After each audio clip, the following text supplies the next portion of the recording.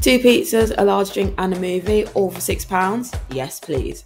This week's Saver Sundays, we're showing you how to have a fun night in or out on a budget.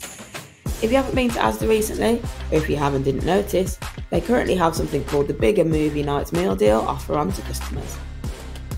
Buying two medium pizzas and a bottle of pop would usually set you back £9.10, but with this supermarket's fun initiative, you save over £3 as well as getting a cinema ticket or an online film. The deal finishes on the 27th of July, so you'll need to be quick and it needs to be claimed within 7 days of buying the deal.